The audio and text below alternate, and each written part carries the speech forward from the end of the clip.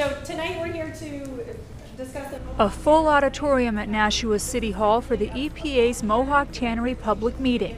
Residents expressing concern as they learned what the cleanup options are for the Superfund site to make it ready for future development. I'm hoping that you guys look at it as kind of, from your perspective, is what if I lived in this neighborhood? The EPA is recommending encapsulation and impermeable capping of the waste at the current site, costing between 8 and 14.2 million dollars. Many are calling for complete removal, which the EPA estimates to cost over 32 million dollars. Do you want to spend a bunch of money at this time, or do you want to spend less money and then money, money, money? Will it take a little longer? You know, will it require a formal NPL listing? You know, maybe, but uh, we do it right or we do it twice.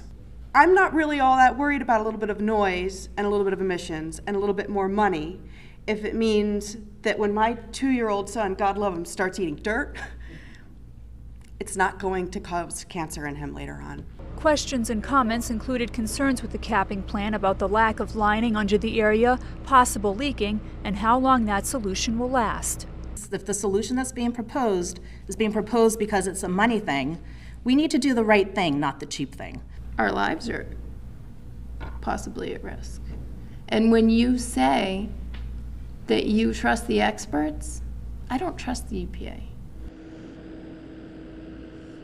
Now, the EPA says they're working with the developer who already has a purchase and sale agreement. The public did get one thing they wanted tonight an extension on the public comment period by 30 days. It now ends September 7th.